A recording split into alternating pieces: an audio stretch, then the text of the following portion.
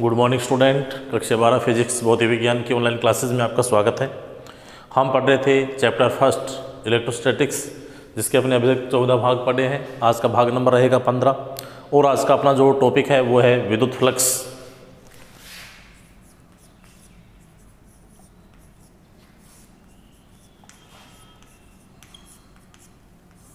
विद्युत फ्लक्स, जिसको अपने रिप्रेजेंट करेंगे किससे? फाई से।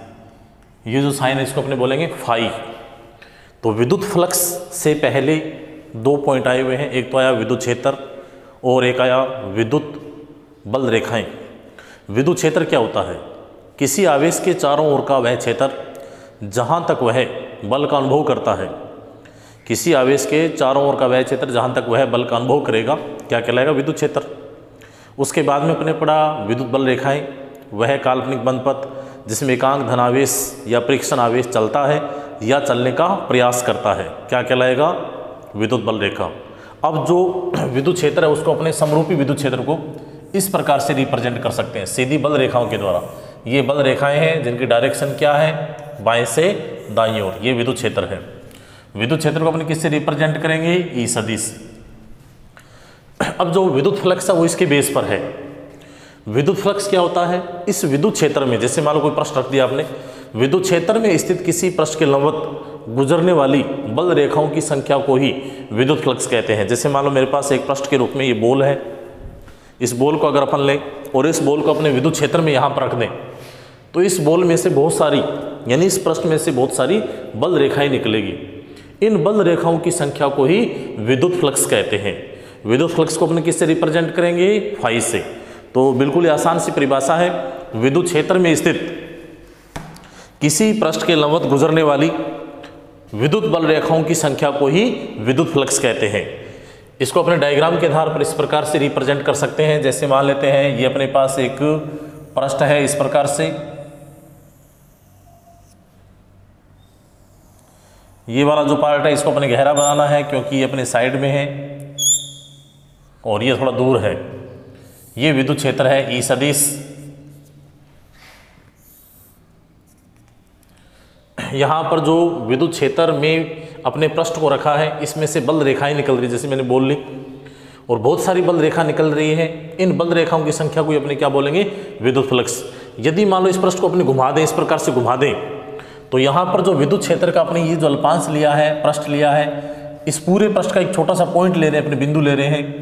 और इस पृष्ठ का जो अल्पांश होगा, वो होगा डी एस सदिश। ई सदिश और डी सदिश के बीच अपने कोण मान लेते हैं। क्या है? थीटा है। ई सदिश और डी सदिश के बीच का कोण कितना है? थीटा है। इस डायग्राम को अपने ऐसे भी बना सकते हैं, जैसे मान लो ये प्रश्न इसको मैंने इस प्रकार से घुमा दिया। ये ऐसे घूम गया। ये वही सेम पार्ट है, जो अपनी तरफ़ है। इस प्रकार से ये आ गया ई सदिश। और दूसरा है डी एस सदिश इन दोनों के बीच का जो कोण है वो कितना है? थीटा है। तो एक परिभाषा तो ये बनेगी कि विद्युत क्षेत्र में स्थित किसी पृष्ठ के लंबवत गुजरने वाली विद्युत बल रेखाओं की संख्या को ही विद्युत फ्लक्स कहते हैं। या विद्युत क्षेत्र की तीव्रता ई सदिश और पृष्ठ के क्षेत्रफल सदिश के अल्पांश। क्षेत्रफल जो सदिश है, उसका अपने एक छोटा सा पार्ट लिया है। डी का मतलब है अल्पांश, यानी छोटा सा भाग, जैसे ये चौक है। बहुत छोटे छोटे कणों से मिलकर बना हुआ है। तो इसका एक छोटा सा जो कण होगा, उसको अपने क्या बोलेंगे? अल्पांश। तो यहाँ पर पृष्ठ के क्षेत्रफल सदिश का अल्पांश क्या है? डी एस सदिश। विद्युत क्षेत्र की तीव्रता ए सदिश और पृष्ठ के क्षेत्रफल सदिश के अल्पांश डी एस सदिश की एदिश गुणनफल को ही विद्युत फ्लक्स कहते हैं। कौन सा गुणनफल है? एदिश गुणनफल। तो इसको अपने से परिभाषा के आधार पर फॉर्मूला बनाए। तो फॉर्मूला क्या बनेगा? फ्लक्स को अपने किससे लिख रहे हैं? फाइव से। पृष्ठ का अल्पांश क्या है? डी एस है अल्पांश के रूप में है। तो डी फाइव इजकल टू अपन लिख सकते हैं ई सदिश डोट डी एस सदिश। डी फाइव का मतलब कि फ्लक्स का क्या है? अल्पांश और अल्पांश क्यों है? क्योंकि क्षेत्रफल सदिश का अपन क्या ले रहे हैं? अल्पांश ले रहे हैं। तो विद्युत क्षेत्र की तीव्रता ई सदिश और क्षेत्रफल सदिश के अल्पांश डी एस सदिश के अदिश गुणनफल को ही क्या कहते हैं? विद्युत फ्लक्स अब अपने क्या करना है? ये तो जो फ्लक्स अपने लिया है, ये सिर्फ़ इस पॉइंट के लिए लिया है। अगर अपने संपूर्ण पृष्ठ के लिए फ्लक्स का मान निकालना हो तो अपने को क्या करना पड़ेगा? इस समीकरण एक नंबर का अपने को इंटीग्रेशन करना पड़ेगा, समाकलन करना पड़ेगा। और इस समाकलन का अपने बोलेंगे संपूर्ण पृष्ठ का समाकलन क्लोज इंटीग्रेशन यानी इस पूरे पृष्ठ के लिए अपने को समाकलन करना है। तो ये आ जाएगा, पूरे पृष्ठ के लिए समाकलन आएगा तो इसको अपने ऐसे लिखेंगे क्लोज इंटीग्रेशन ये जो साइन है, ये वाला साइन, ये समाकलन है, जैसे अपने ऐसे राउंड लगा देंगे तो ये बन जाएगा संपूर्ण पृष्ठ का समाकलन, यानी क्लोज इंटीग्रेशन तो ये आ जाएगा close integration D phi equal to close integration S E सदीश डोट डी एस सदीश। अब अपने यहाँ पर एस क्यों लगाया है? क्योंकि पूरी सरफेस के लिए अपने क्या किया है? फाई का मान निकाला है। तो डी फाई का अपने इंटीग्रेशन करेंगे तो ये आ जाएगा फाई और फाइव इजिकल टू आएगा क्लोज इंटीग्रेशन एस ई सदीस डोट डी एस सदीस ये आ गया समीकरण नंबर, दो नंबर। जो समीकरण नंबर एक नंबर है, वो भी विद्युत फ्लक्स का व्यंजक है। समीकरण नंबर दो है, वो भी क्या है? विद्युत फ्लक्स का व्यंजक है, लेकिन दोनों में अंतर है। ये जो फ्लक्स है, ये एक अल्पांश के लिए है और ये एक संपूर्ण पृष्ठ के लिए है। अगर अपने इसको आगे हल करें तो ये आ जाएगा फाइव बराबर phi equal to close integration S. अगर अपने सदिश हटाएँ तो ये आएगा E D S cos theta अदिश गुणनफल क्या होता है? दो सदिश राशियों का अदिश गुणनफल, उन दोनों सदिशों के परिमाण। ई सदिश का परिमाण क्या है? ई डी एस सदिश का परिमाण क्या है? डी एस तो अदिश गुणनफल क्या होता है? उन दोनों सदिशों के परिमाण और उनके मध्य बनने वाले कोण की कोज्या, यानी कोस थीटा के गुणनफल के बराबर होता है। तो ये आ जाएगा फाइव बराबर क्लोज इंटीग्रेशन एस ई सदिश डो डी एस सदिश, इजकल टू इसको अपन क्या लिखेंगे? E D S cos theta अब देखो एक कंडीशन है कि यदि ई सदिश और डी एस सदिश एक ही दिशा में हो एक ही डायरेक्शन में है, यदि थीटा का मान कितना है? ज़ीरो है। थीटा इजकल टू कितना है? ज़ीरो डिग्री है। तो ये आ जाएगा phi equal to close integration अगर कौन थीटा है तो यहाँ पर थीटा ले लेंगे। अब थीटा का मान अपने मान लेते हैं कि ज़ीरो है। ई सदिश और डी एस सदिश एक ही दिशा में है। तो ये आएगा phi equal to close integration E D S cos zero degree. क्योंकि हम जानते हैं कोस ज़ीरो का मान कितना होगा? एक। तो ये आ जाएगा phi equal to close integration S E D S cos zero का मान कितना है? एक। एक से गुणा करेंगे, ये आएगा। अब ई यहाँ पर क्या है? इंटेंसिटी ऑफ़ इलेक्ट्रिक फ़ील्ड विद्युत क्षेत्र की तीव्रता है। और विद्युत क्षेत्र की तीव्रता का मान हमेशा नियत रहता है, बदलेगा नहीं। बदल रहा कौन? केवल डीएस अल्पांश लिया है तो समाकलन करना है, इंटीग्रेशन करना है, अपने को समाकलन करना है तो ई यहाँ पर क्या है? कांस्टेंट कांस्टेंट का समाकलन नहीं होगा तो ई यहाँ से बाहर आ जाएगा। इसको अपन ऐसे लिख सकते हैं phi equal to E. Close integration S D S. E क्या है? इंटेंसिटी। अगर अपने सभी अल्पांशों को ऐड कर दें, जोड़ दें तो ये आएगा close integration S D S और ये आ जाएगा संपूर्ण पृष्ठ का समाकलन एस सरफेस एस लिख सकते हैं ए भी लिख सकते हैं ए यानी एरिया तो ये अपने पास एक फॉर्मूला बन जाएगा यहाँ पे. फॉर्मूला ये बन जाएगा, ऊपर लिख रहा हूँ यहाँ पे मैं.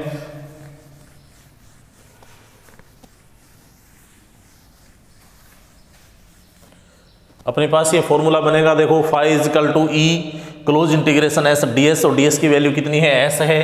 तो फाइव इजिकल टू आ जाएगा ई e एस यानी विद्युत क्षेत्र की तीव्रता और पृष्ठ की क्षेत्रफल का जो गुणनफल है, वही क्या कहलाएगा? विद्युत फ्लक्स कहलाएगा।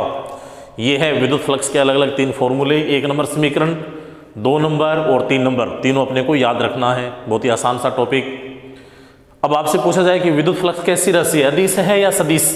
दो सदिश राशियों का अदिश गुणनफल जब होगा तो केवल अपने को अदिश राशि ही प्राप्त होगी। यानी यहाँ पर फाई, यानी विद्युत फ्लक्स कैसी राशि है? अदिश राशि है। अब अपने को यहाँ से क्या करना है? जो फ्लक्स निकाला है, फ्लक्स का अपने को मात्रक निकालना है पहले, और उसके बाद में इसकी विमा निकालनी है। तो मात्रक निकालेंगे अपने, समीकरण तीन है अपने पास, एक नंबर, दो नंबर, तीन नंबर। अपने को यूज़ करना है तीन नंबर का।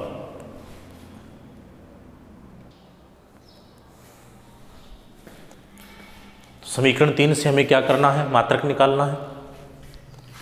तो ये आ जाएगा यूनिट फाइव इजिकल टू क्या था? ई एस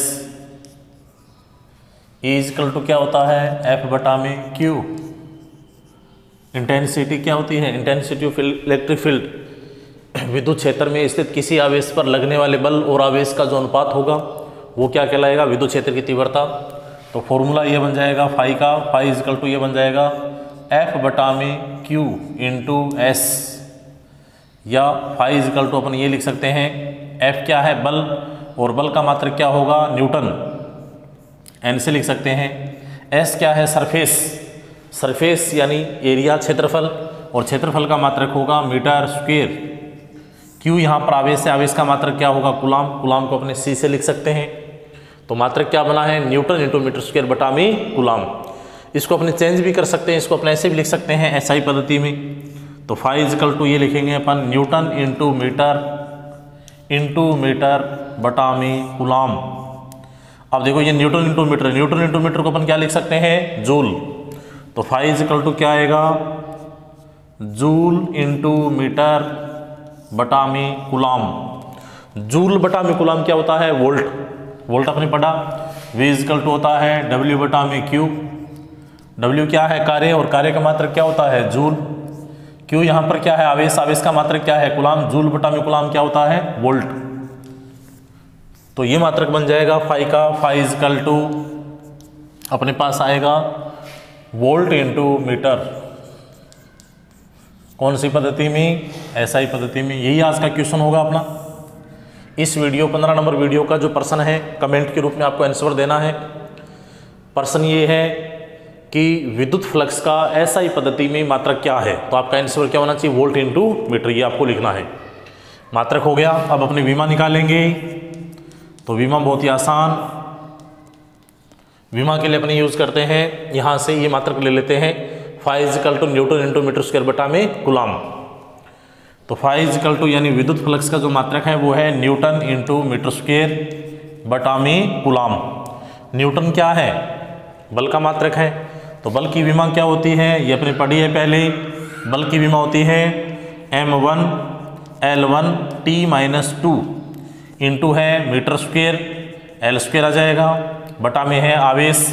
और आवेश का विमीय सूत्र है टी वन ए वन सभी को अपने इंक्लूड कर देंगे, जोड़ेंगे। तो फाइव इजकल टू आएगा अपने पास।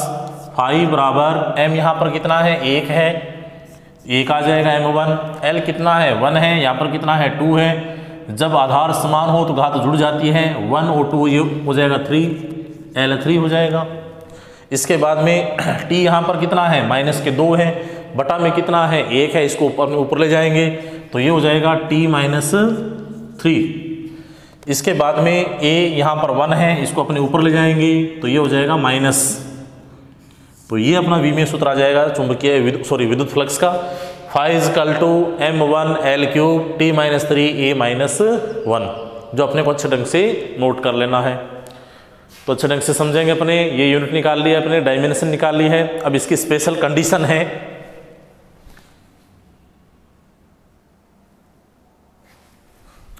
नेक्स्ट अपने इसकी कंडीशन पढ़ेंगे। विद्युत फ्लक्स की तीन स्थितियाँ हैं। केस फ़र्स्ट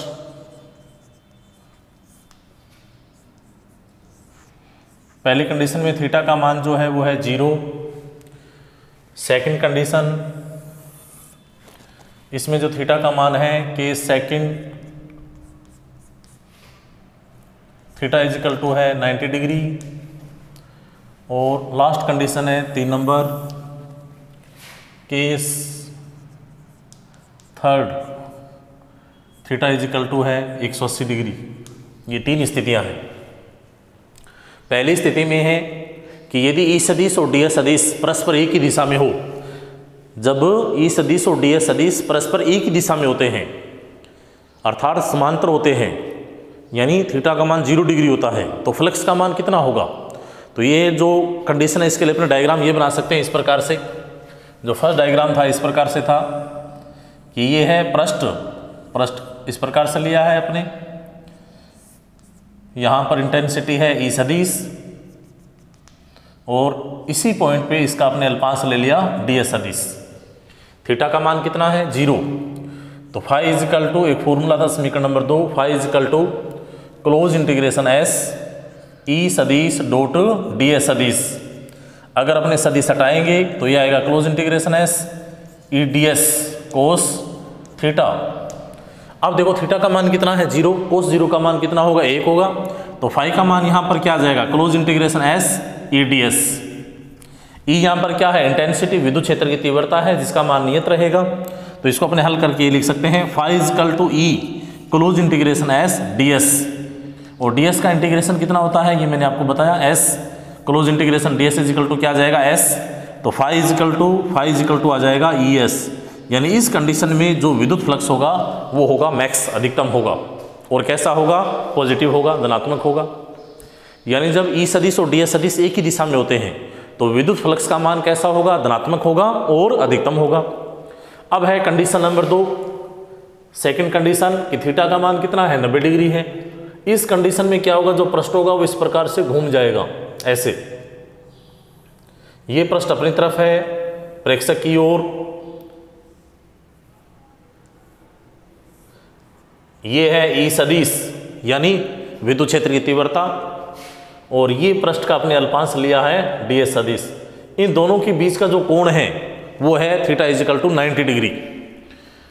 तो समीकरण अपने वापस वही लगाना है, दो नंबर। तो फाइव इजिकल टू, इसको अपन क्या लिखेंगे? Close integration S. ई सदिश डोट डी एस सदिश। इसको अपन ये भी लिख सकते हैं close integration S E D S cos theta और थीटा का मान यहाँ पर कितना है? नब्बे डिग्री है। थीटा का मान कितना है? Ninety degree. तो फाइव इजिकल टू क्या आएगा? Close integration S E D S cos नब्बे डिग्री। कोस नब्बे का मान हम जानते हैं कोस नब्बे का मान कितना होगा? ज़ीरो तो फाइव इजिकल टू क्या आएगा? Close integration S E D S into zero तो ये वैल्यू कितनी आ जाएगी? शून्य आ जाएगी। यानी ये मान कितना होगा? मिनिमम होगा, न्यूनतम होगा। ये वैल्यू कितनी है? न्यूनतम है। और ये वैल्यू कैसा है? मैक्स है ये। अब है लास्ट कंडीशन लास्ट कंडीशन में अपने क्या करना है? थीटा का मान 180 डिग्री लेना है। यानी ई सदिश और डी एस सदिश क्या है? एक दूसरे के प्रति समांतर है। तो इसका डायग्राम बनाएँगे अपने, इस प्रकार से बन जाएगा। अब ये जो प्रश्न है, ये प्रेक्षक की ओर है, इस प्रकार से। यहाँ पर है ई सदिश और यहाँ पर है डी एस सदिश। और दोनों के जो बीच का ये कोण है, ये कोण कितना है? 180 डिग्री है।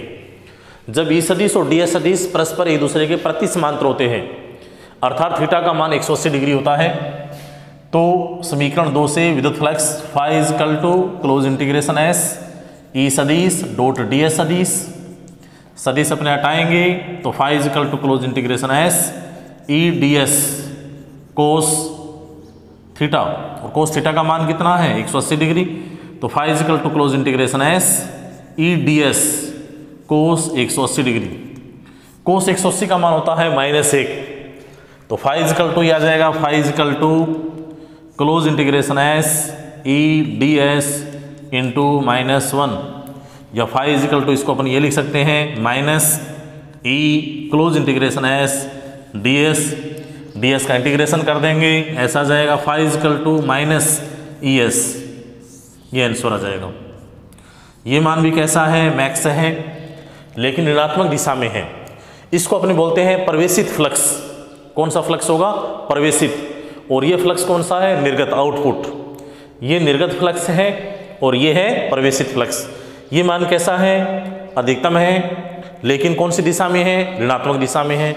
तो ये था आज का इंपॉर्टेंट टॉपिक विद्युत फ्लक्स जो कंप्लीट हुआ, अच्छे ढंग से अपने को याद करना है।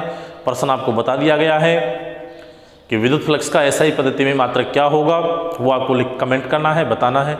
मंडे को आपका टेस्ट होगा, जिसमें आपको एक नंबर वीडियो से लेकर पंद्रह नंबर वीडियो तक सारे देखने हैं। तो अच्छे ढंग से आप तैयारी करते रहें। थैंक यू धन्यवाद।